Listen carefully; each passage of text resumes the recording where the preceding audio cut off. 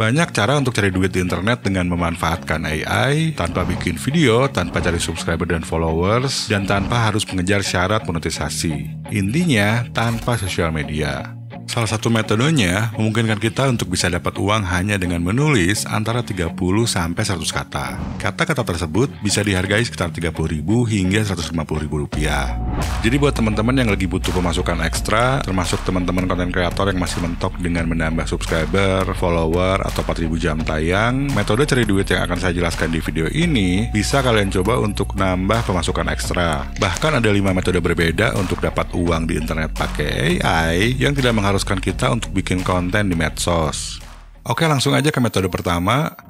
Saat kita menggunakan ChatGPT, pertanyaan yang kita ajukan ini disebut prompt. Dan hasil yang diberikan oleh ChatGPT tergantung dari kualitas prompt yang kita masukkan. Begitu juga saat menggunakan AI text to image seperti Midjourney. Hasilnya akan bergantung dengan kualitas prompt yang kita gunakan. Cuma nggak semua orang ngerti cara bikin prompt yang bagus, nah di sinilah kita masuk kita bisa menjual prompt berkualitas yang kita buat untuk ChatGPT, Midjourney, DALL-E, atau Stable Diffusion. Marketplace jual beli prompt AI yang saat ini sedang ramai adalah prombest.com. Prompt yang dijual harganya bisa kisaran 2-4 dolar. Prompt Midjourney di sini dijual dengan harga hampir 5 dolar dan cuma terdiri dari 33 kata. Yang dipajang di sini adalah sampel image yang bisa dihasilkan oleh promptnya. Lalu ini adalah contoh GPT prompt untuk generate naskah video TikTok tanpa wajah. Di sebelah sini kita bisa lihat output sampel naskahnya, termasuk keterangan visualnya. Jadi cuma promo AI kira-kira sepanjang ini bisa dijual sekitar 3 dolar. Kalau ada 100 orang yang beli, berarti bisa dapat 300 dolar atau sekitar 4.200 rupiah hanya dari satu prom. Kalau jualan 10 prom berarti bisa lumayan juga ya tentunya kalau memang laku. Konsepnya simple, tapi supaya orang-orang tertarik untuk beli prom yang kita jual, kita harus tahu cara desain prom yang bagus. Jadi ya tentunya kita harus paham cara menggunakan AI tool seperti ChatGPT, Midjourney, atau Stable Diffusion. Prom yang kita jual harus bisa dimodifikasi dengan mudah oleh pembeli. Contoh di sini adalah prom untuk generate karakter komik dengan gaya noir di Stable Diffusion. Kalau karakter name-nya saya ganti jadi Joker, hasilnya seperti ini. Kalau saya ganti jadi Batman, hasilnya jadi seperti ini. Dan saya juga bisa ganti jadi Spider-Man atau karakter-karakter komik lainnya. Hanya dari satu prom, tapi bisa digunakan berkali-kali. Sayangnya platform pembayaran yang digunakan oleh Prombase adalah Stripe. Untuk orang Indonesia, saat ini harus dapat undangan dulu kalau mau bikin akun Stripe. Tapi jangan khawatir karena masih ada beberapa marketplace lain di mana kita bisa jual prom.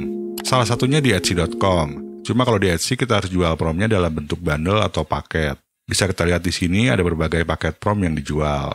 Contohnya di sini adalah paket 180 prom Journey untuk bikin desain kaos keren. Lalu ada juga paket 700 prom chat GPT yang memudahkan penulisan ebook. Etsy itu adalah marketplace seperti Topet atau Shopee dari Amerika. Tapi marketplace-nya itu lebih fokus untuk jual barang-barang vintage, barang seni, dan juga kerajinan tangan. Tapi kalau sekarang udah lebih banyak juga yang jual produk digital. Terus untuk opsi pembayarannya juga ada banyak, termasuk PayPal. Selain Etsy, kita juga bisa jual AI prom di Fiverr.com. Kalau di Fiverr, yang kita jual adalah custom prom sesuai permintaan klien. Harga jualnya juga lebih tinggi daripada di Prombase. Untuk opsi pembayaran di Fiverr bisa lewat PayPal atau Pioneer. Tutorial untuk bikin akun PayPal bisa teman-teman cari di YouTube. Saya sendiri pernah lihat seller-seller di Shopee ada yang jualan prom, tapi menurut saya pasarnya kalau di Indonesia itu masih kurang rame. Tapi teman-teman jangan khawatir karena saya masih ada metode-metode lain untuk cari duit pakai AI, termasuk buat teman-teman yang lebih memilih rupiah ketimbang dolar. By the way, ada satu marketplace lagi untuk jualan prom yaitu promsi.io. Pada dasarnya sama dengan Prombest, tapi kalau di sini promnya harus berupa NFT dan transaksinya menggunakan kripto. Jadi agak ribet kalau buat orang yang nggak ngerti NFT dan kripto. Saya sendiri pernah bikin tutorial dasar penggunaan beberapa AI tools, dan di YouTube pun juga ada segudang tutorial lainnya. Buat teman-teman yang nggak mau jual prom, teman-teman bisa coba metode kedua. Dan metode kedua ini juga bisa dilakukan di Indonesia. AI tools yang diperlukan di sini adalah AI text to image, seperti Midjourney, DALL-E, atau Stable Diffusion. Nah, buat yang belum ada budget untuk langganan Midjourney, teman-teman bisa pakai playgroundai.com karena di sini kita bisa generate 1000 image per hari secara gratis. Salah satu produk digital yang gampang dibuat tapi laku keras di pasaran adalah printables. Dan dengan bantuan AI, kita bisa lebih mudah lagi bikinnya. Printables adalah desain grafis atau teks yang bisa di-print dan umumnya dijual dalam bentuk file PDF. Nanti yang bakal ngeprint desainnya itu adalah pembelinya sendiri. Dan enaknya kalau produk digital itu cukup sekali bikin tapi bisa dijual berkali-kali. Ini adalah gambar mewarnai untuk anak yang saya buat pakai Midjourney yang akan saya jadikan printables. Pertama saya akan perbesar dulu image-nya dengan menggunakan upscale.media. Soalnya kalau enggak nanti pas di print hasilnya bakal jelek. Saya akan set keempat kali dan saya akan nyalakan opsi ini supaya hasilnya lebih bagus. Setelah beres, saya akan download hasilnya. Karena nantinya printables itu akan di print sama pembeli, jadi saya harus rubah dulu image-nya menjadi 300 dpi, supaya pas di print itu hasilnya lebih tajam. Bisa dilakukan dengan mudah pakai Photoshop, tapi kalau buat yang belum punya, teman-teman bisa cari online DPI converter di Google. Saya akan pilih yang ini, lalu upload image yang telah di upscale tadi. Pilih 300 dan tunggu prosesnya. Setelah beres, tinggal download aja. Langkah selanjutnya adalah membuat file PDF printable-nya. Saya akan menggunakan Canva dan di sini saya akan bikin dokumen A4. Saya akan upload image yang sudah dikonvert tadi ke 300 dpi, terus tinggal dimasukin aja ke sini. Nah, saya akan atur-atur ukurannya supaya pas. Dan terakhir, tinggal download aja ke format PDF print. Saya akan menyalakan dua opsi ini, terus tinggal klik tombol download. Untuk menjual file printables bisa lewat Shopee dan kita bisa lihat di sini ada beberapa seller yang sudah menjual printables untuk anak. Tentunya teman-teman juga bisa cek di marketplace lain seperti Topet atau mungkin juga di TikTok Shop. Tapi kalau mau lebih cuan, kita bisa jualan printablesnya di Etsy. Karena pembelinya lebih banyak. Kita bisa jual printables gambar anak, atau printable art seperti ini karena bisa dibuat juga pakai AI. Oke, kita lanjut ke metode ketiga. Di metode ini kita bisa menjual image, digital art, atau ilustrasi yang digenerate oleh AI di situs-situs stock foto. Nah, dan saya menemukan tiga situs stock foto yang mau menerima image yang digenerate oleh AI. Situs pertama adalah Adobe Stock, URL-nya adalah stock.adobe.com. Image yang akan dijual harus unik, memiliki nilai dan berkualitas tinggi. Di sini kita bisa lihat keyword populer serta kategori image-nya, dan saya menyarankan untuk lihat-lihat dulu agar tahu apa yang laku dijual sambil cari inspirasi. Kalau udah siap jualan, teman-teman bisa bikin akun kontributor secara gratis. Saat generate image untuk dijual di Adobe Stock, pastikan jangan ambil prom dari orang lain dan jangan generate image yang mirip karya orang lain, apalagi karya seniman terkenal. Jangan juga menampilkan wajah orang terkenal atau brand terkenal. Agar bisa diterima oleh situs stock foto, resolusi image-nya harus diperbesar dulu. Salah satu image upscaler yang bagus adalah Topaz Lab, tapi ini berbayar. Kalau belum ada budget, bisa masuk ke upscale.media, sama seperti tadi saat saya memperbesar image untuk printable. Sekarang resolusinya sudah lebih besar dan siap untuk disubmit ke Adobe Stock.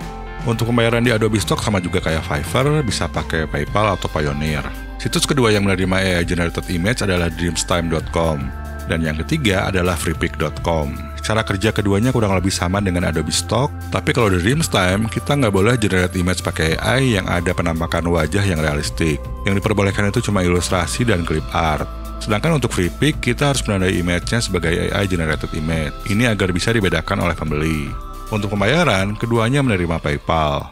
Metode keempat bisa dilakukan juga di Indonesia. Dan gak sebatas jual image doang, tapi ada beberapa pilihan lain, karena di sini kita menjual jasa sebagai freelancer. Nah, pengerjaannya tentunya dibantu AI supaya lebih cepat beres dan lebih mudah. Saya akan mulai dulu dengan Fiverr karena pengunjungnya ramai banget.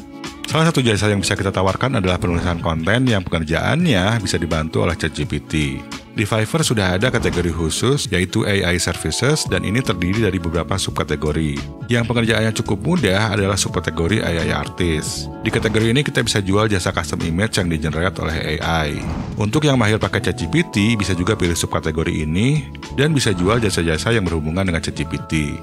Situs lain di mana kita bisa melakukan freelancing adalah peopleperhour.com. Di sini kita bisa jual jasa penulisan yang pekerjaannya bisa dibantu oleh ChatGPT. Situs freelance lainnya adalah Upwork, di mana kita bisa juga tawarkan jasa penulisan. Sedangkan untuk Indonesia ada freelancer.co.id, seribu.com, lalu ada Facebook ID, dan juga project.co.id.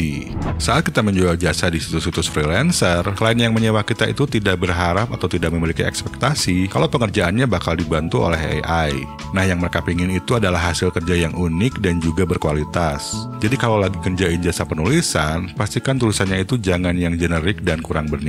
Kecuali kalau kliennya memang menyewa jasa yang ada di bawah kategori AI Services di Fiverr. Selain kategori ini, termasuk juga di situs freelancer lain, kita nggak bisa 100% pakai AI. Tapi kita tetap bisa minta ChatGPT untuk nulisin beberapa variasi judul menarik.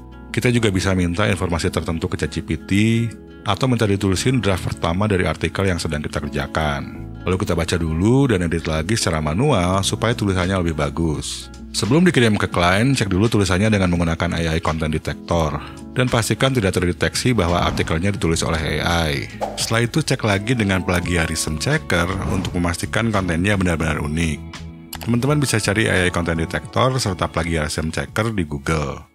Lalu untuk metode kelima, ini mirip dengan metode kedua, tapi dengan sedikit perbedaan. Jadi produk yang kita jual itu bukan berupa digital, tapi berupa produk fisik. Bisa berupa pakaian, aksesoris, dekorasi, dan peralatan minum. Tapi teman-teman nggak perlu repot-repot cetak dan ngeluarin biaya untuk produksi. Bahkan tanpa modal pun jadi, karena kalian bisa menggunakan jasa print on demand. Jadi kita tinggal upload desainnya, nanti kalau misalkan ada yang beli, urusannya langsung diserahkan kepada pihak ketiga, yaitu pihak yang menyediakan jasa print on demand. Mereka akan menangani transaksi, produksi, dan juga pengiriman. Dan kita tinggal menerima profitnya dan melayani customer. Beberapa jasa print on demand yang terkenal adalah printful.com dan printify.com. Terus ada redbubble.com yang menawarkan banyak sekali jenis produk yang bisa dicetak. Selain itu juga ada yang milik Amazon yaitu merch on demand. Kalau untuk Indonesia ada tis.co.id, shiptalaka.com, dan ini dua-duanya mirip Printful dan Printify. Saya sangat menyarankan untuk pakai Midjourney kalau hasilnya itu pingin benar-benar bagus. Ini contoh desain kaos yang pernah saya bikin pakai Midjourney. Saat bikin print design, ukuran image-nya harus diperbesar dengan resolusi 300 dpi. Ini mirip dengan cara bikin printables tadi. Nah, tapi backgroundnya itu harus transparan. Jadi ada sedikit kerjaan tambahan yang harus kita lakukan di Photoshop atau di Canva. Di Canva itu ada fitur untuk save ke format PNG dengan background transparan. Cuma kita harus upgrade dulu ke Pro. Kalau mau coba trial gratis Canva Pro selama 30 hari, linknya ada di deskripsi. Alternatifnya, teman-teman bisa remove backgroundnya pakai iris.bg. Lalu gunakan upscale.media untuk memperbesar ukurannya. Lalu gunakan online DPI converter agar image-nya bisa menjadi 300 dpi.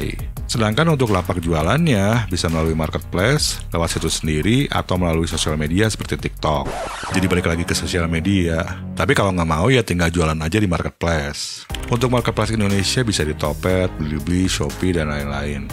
Untuk pasar luar negeri bisa jualan di Etsy. Besar kecilnya penghasilan yang bisa kalian raih akan bergantung dengan usaha yang kalian lakukan. Tiap orang bisa berbeda-beda hasilnya. Semua metode yang saya sampaikan di sini itu bukan program atau iming-iming cepat kaya. Kalau mau sukses ya perlu usaha dan membutuhkan waktu. Tools AI itu hanya membantu dan memudahkan kita saat membuat produk atau mengerjakan pesanan jasa.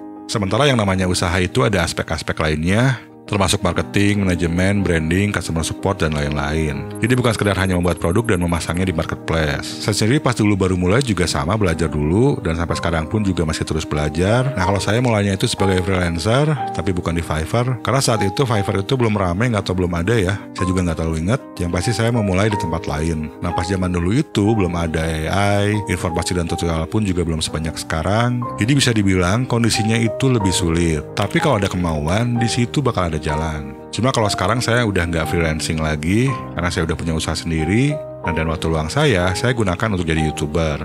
Nah, ke depannya saya juga ada rencana untuk bikin video-video tentang cara cari uang di internet dan juga digital marketing, jadi nggak cuma sekedar tips YouTube. Kalau teman-teman setuju, kasih tahu saya di komen ya. By the way, buat teman-teman yang ingin lebih tahu soal penggunaan AI, bisa lanjutin nonton dengan masuk ke playlist ini.